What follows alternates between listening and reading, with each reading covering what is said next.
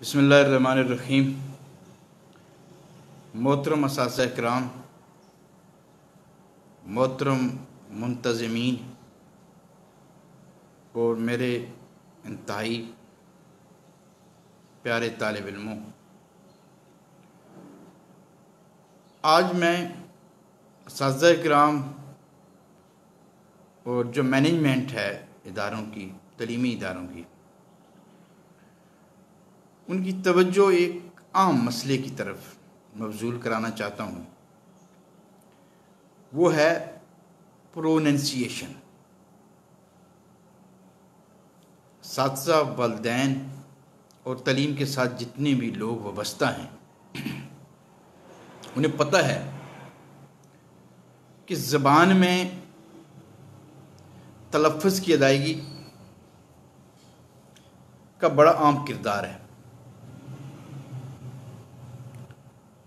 اور یہ تلفظ بہتر کیسے ہوتے ہیں اور غلطیاں کہاں سے آتی ہیں؟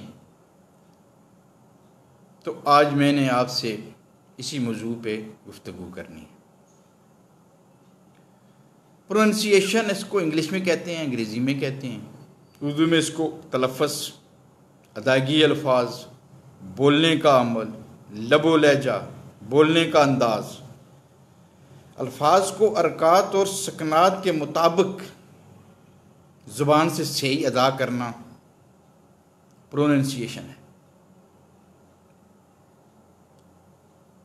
اب مسئلہ یہاں پہ یہ ہے، میں سب سے پہلے عربی کو لوں گا۔ ہم والدین اتنی سستی کرتے ہیں کہ ہمارا جو چھوٹا بچہ ہوتا ہے نا، ہم اپنی تکلیف سے بچنے کے لیے، جان چھڑانے کے لیے۔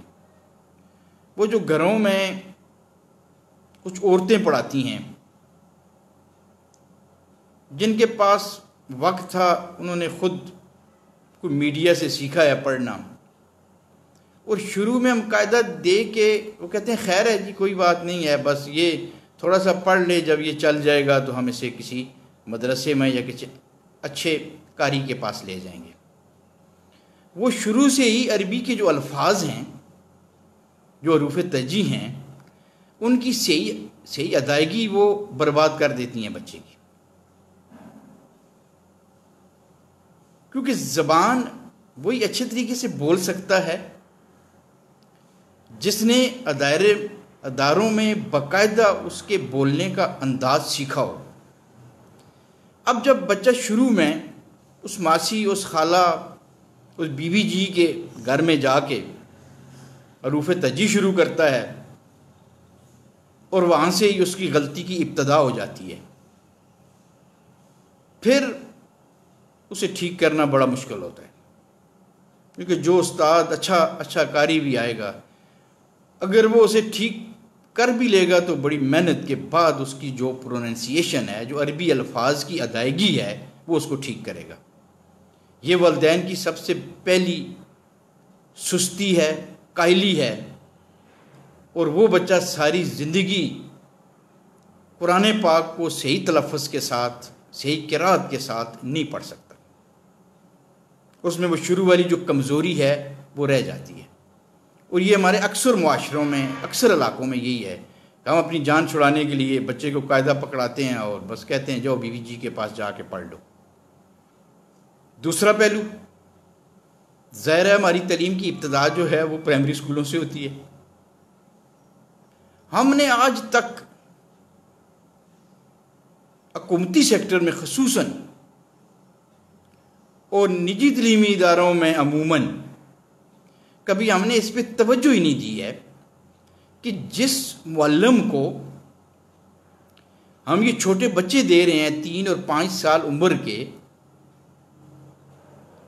اور جو زبان پڑھانے کے لیے دے رہے ہیں، کیا وہ معلم کا لب و لہجہ جو ہے، الفاظ کی جو ارکات و سکنات ہیں، وہ صحیح طریقے سے ادا کر سکتا ہے یا کر سکتی ہے؟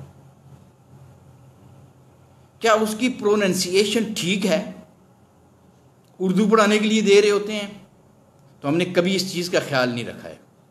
ہمارے بچے کی شروع میں ہی پرائمری حصے میں ہی پروننسیشن اردو کی اور انگلش کی خراب ہو جاتی ہے۔ اور آپ یقین کریں کہ لوگ پی ایچ ڈی کر لیتے ہیں، اعلیٰ ڈگریاں حاصل کر لیتے ہیں، بڑے اچھے مقام پہ چلے جاتے ہیں، بہت اچھے اسپیکر ہوتے ہیں، لیکن وہ جو استاد کی غلطیاں ہیں، استاد جو لفظ غلط بولتے رہے ہیں، استاد جو لفظ غلط بولتے رہے ہیں، وہ غلطیاں دور نہیں ہوتی ہیں۔ اور وہ پھر محفلوں میں، جرگوں میں، جلسے جلوسوں میں، اگر وہ پھر استاد جاتے ہیں، وہ بھی وہی غلطیاں کرتے ہیں۔ اور کبھی ہم نے اس چیز کا خیال نہیں رکھا ہے کہ ہم یہ کچی کلاسیں، پہلی کلاسیں اور پرائمری ایسے مولمین کو دیں کہ جو اگر اردو اس کو دیتے ہیں تو اردو کا ہر لفظ وہ بہترین طریقے سے بول سکتے ہوں۔ اگر ہم ان کو انگلش دے رہے ہیں تو انگلش کی پروننسیشن ان کی بیسٹ ہو۔ اور وہ اس کی تیاری کر کے آئیں کہ آج میں نے کتنے لفظ کلاس میں بولنے ہیں بچوں کے سامنے، کتنے لفظ ان کو میں نے لکھوانے ہیں، کتنے لفظ ان کو میں نے پڑھانے ہیں، اور ان کی وہ پوری تیاری کر کے آئیں کہ میں نے وہ لفظ کس طرح بولنا ہے۔ یعنی اس کی جو زبان ہے، جو اس کے ہونٹ ہیں، جو اس کا تالو ہے، وہ بالکل زبان کی حرکت بھی ایسی ہو کہ جیسے الفاظ کو ادا کرنا ہے۔ اب عربی میں بھی یہی ہے۔ عربی میں تو سارے ایکشن ہیں کہ لفظ، یہ لفظ بولنے کے لیے آپ کی زبان ہونٹوں پہ ہونی چاہیے، آپ کی زبان تالو کے ساتھ ہونی چاہیے، آپ کے ہونٹ کھلے ہوں، آپ کے ہونٹ بند ہوں۔ یہ مشق استاد کرے گا تو تب آگے آگے جا کے بچہ کرے گا۔ اور یہ غلطی جو ہے، یہ غلط العام نہیں ہے، یہ غلط العوام ہے۔ کیونکہ دو غلطیاں ہوتی ہیں۔ ایک ہوتی ہے غلط العام غلط العام سے مراد یہ ہے کہ ایک لفظ کسی زبان میں غلط رائج ہو گیا ہے اور سارے کے سارے لوگ، سارے مفکرین اس کو غلط بول رہے ہیں تو غلط العام ہے۔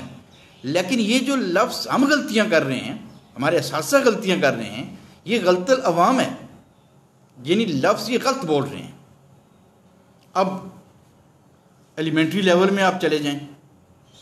وہاں بھی یہی ہے کہ کوئی کوئی محلم استاد ہمارے پاس آتا ہے، اگر کوئی گورنمنٹ اسکول ہے، وہاں سے ٹرانسفر ہو کے آتا ہے، یا نجی تعلیمی ادارہ ہے، تو نیا ہائر ہوتا ہے۔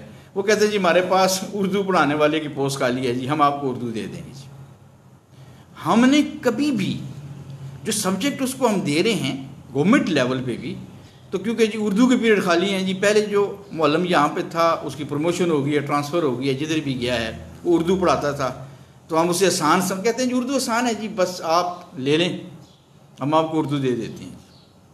کتنی بڑی غلطی ہم قوم کے ساتھ کر رہے ہیں۔ ہم اکثر اوقات اعلیٰ تعلیم کے، اعلیٰ معیار کے بہت بڑے بڑے دعوے کر رہے ہوتے ہیں۔ لیکن اگر ہم اپنے پرائمری اور ایلیمنٹری اسکولوں کو دیکھیں، تو وہاں سبجیکٹ اسپیشلسٹ موجود نہیں ہیں۔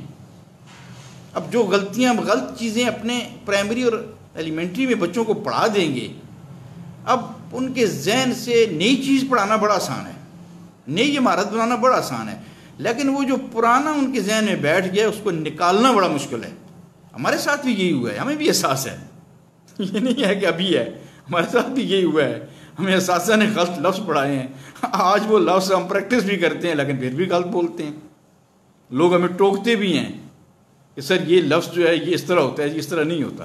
لیکن وہ یہ سمجھے کہ ہمارے دماغ میں فیڈ ہو گیا پکا۔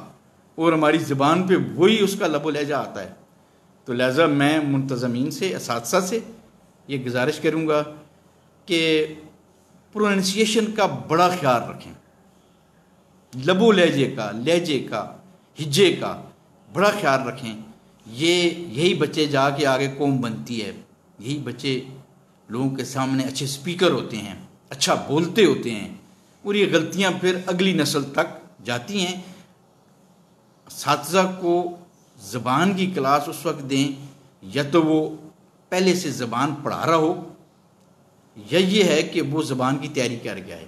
آج تک تو دیکھیں، یہ انڈرائڈ موبائل ہیں میڈیا کا زمانہ ہے۔ ہر، ہم ہر لفظ کی پروننسیشن اردو، انگلش، عربی کی یہاں سے ہم سیکھ سکتے ہیں۔ کیا اساتذہ نے جتنے لفظ کلاس میں بولنے ہیں خصوصاً پرائمری اور ایلیمنٹری میں، اور اس سے بھی زیادہ بہتر یہ جو کچی پکی پہلی کلاسز ہیں اس میں، جو لفظ بولنے ہوں، ان کو وہ تیار کر کے آئیں۔ اور بچوں کو اس کی مشق کرائیں، بچے غلط لفظ نہ بولیں اس میں۔ اور عربی میں، والدین سے گزارش کروں گا ساتھ سے بھی گزارش کروں گا کہ والدین کو سمجھائیں، پیغام بھیجیں۔ یہ جو بی بی جی گھروں میں پڑھا رہی ہوتی ہے قاعدہ تو اس سے بچوں کو اوائڈ کریں۔ کیونکہ بی بی جی کا وہ جو تلفظ ہے عربی کا، وہ ٹھیک نہیں ہے۔ پھر اسی طرح ہم شروع سے غلطیاں کرتے ہیں اور ہم قرآن پاک کو بھی۔ اور آپ کو پتہ ہے، عربی زبان میں زبر زیر پیش کا فرق۔ اب دیکھیں، لفظ آمد ہے۔ نبی مہربان صلی اللہ علیہ وسلم کا نام آمد ہے۔ آپ جس طرح لوگوں کو دیکھیں گے تو وہ زیر پڑھ رہے ہیں، احمد پڑھ رہے ہیں۔ پڑھ بھی رہے ہیں، بول بھی رہے ہیں۔ بچوں کے نام بھی آمد ہیں۔ ان کو احمد پار رہے ہیں اس میں۔ تو خدا رہا یہ عربی کے لیے ہم غلطیاں کرتے ہیں اور الفاظ کا معنی ہی تبدیل ہو جاتا ہے عربی میں۔ چلیں، اردو میں یا انگلش میں اگر معنی تبدیل ہو گیا تو ہمیں کوئی گناہ نہیں ہوتا ہے۔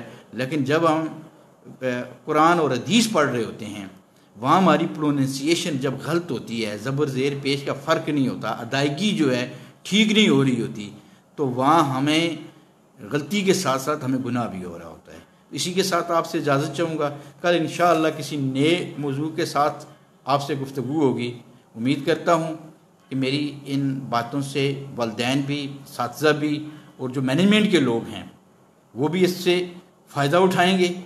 اور اپنے اسکول میں جہاں ان کا اپنا اثر رسوخ ہے، اپنا کالج ہے، اسکول ہے، اپنا گھر ہے، تو اس میں پروننسیشن کو پروننسیشن کو بہتر کرنے کے لیے کوئی نہ کوئی لایا عمل اختیار کریں گے۔ وہ ماں علیہ البلاغ المبین